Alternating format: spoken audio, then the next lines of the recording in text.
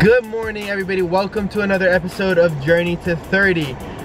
This is episode 49. We're still in Hangzhou. I hope you guys are enjoying how I'm taking little flashbacks uh, of my day and continuing our journey in China. As I said, I've been recording continuously over the past weeks. So once we get up, caught up with the content, you guys will be able to follow what's going on in today's time but for now we're gonna let you see what happened in China. Again welcome to another episode. Hope you guys enjoy this journey. Today we woke up to some snow. It was snow everywhere. It's about 11 a.m right now and we're on our way to the office. Whoop whoop whoop. My little slidey there. Gotta be careful. Worked this morning doing some logistical things and uh, gonna start having the team edit the video. Hope you guys enjoy. I'm gonna drive safe.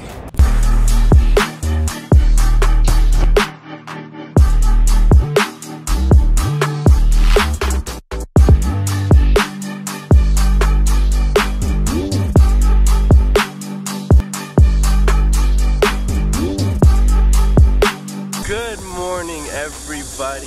We are on which day? It is July 8th now. Currently, just got off the bus, walking towards the Silk Museum. We're gonna learn about the silk industry here in China and how it's come a long way. We're actually going to an area where the bus is not allowed to go, which is kind of weird. And um, which means we're gonna have a lot of walking. And yeah, let's have a good day. Tallest guy in China. Yeah.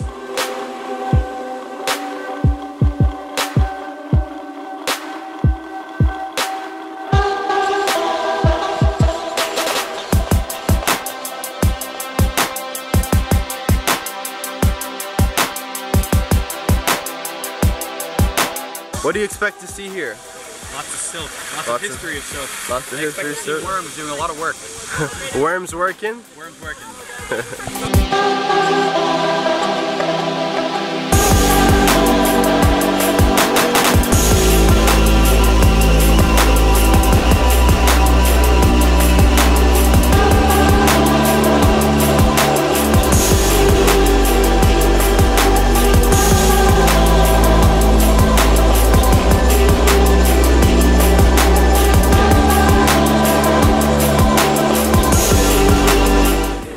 after we've folded the silk,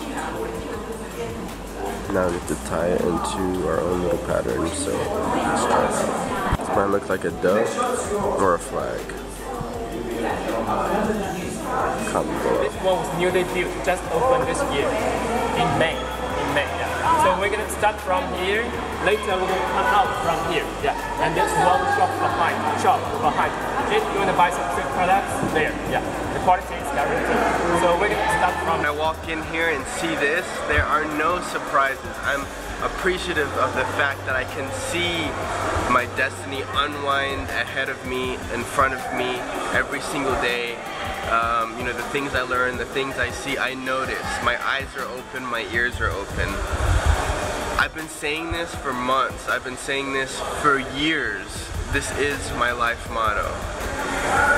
And somehow I just end up in the face of it. New knowledge on ancient roads, or as I say it, new ideas to traditional techniques, to traditional ideas, new thinking to old,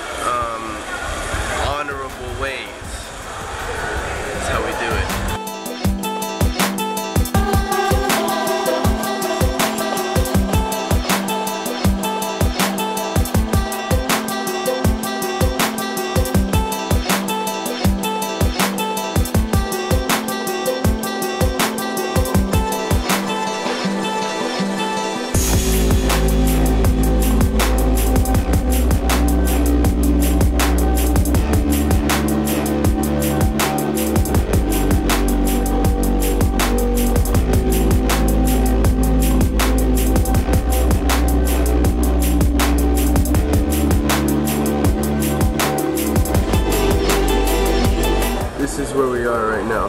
Yes. And that's the Silk Road. Worldwide. Clouds and dirt, baby. Clouds and dirt.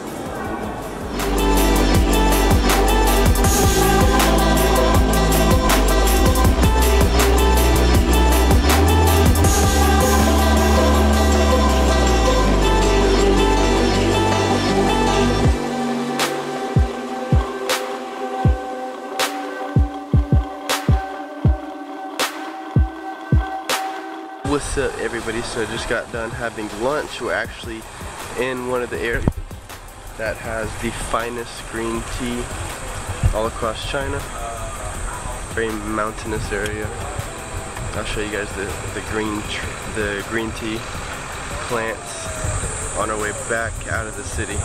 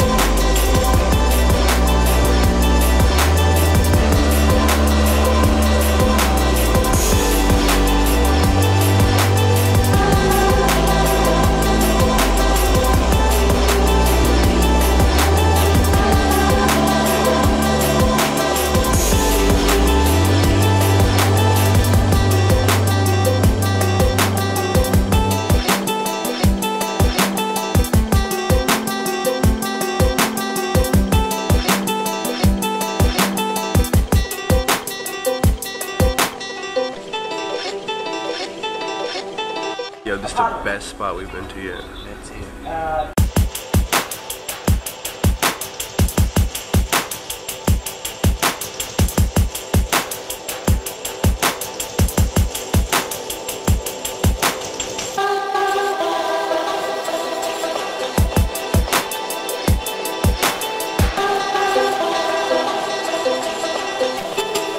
This is one of the coolest prototype cities that I have seen ever. Honestly, huge. You see how big this is? This is literally filling up the whole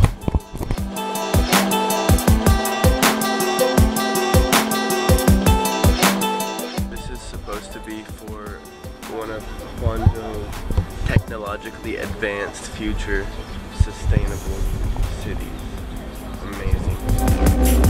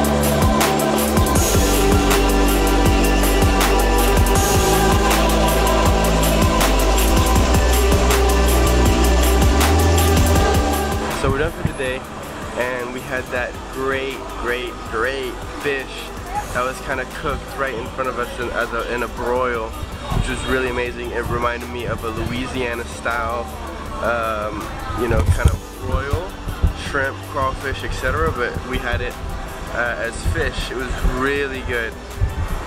Right now we're just uh, walking down the street.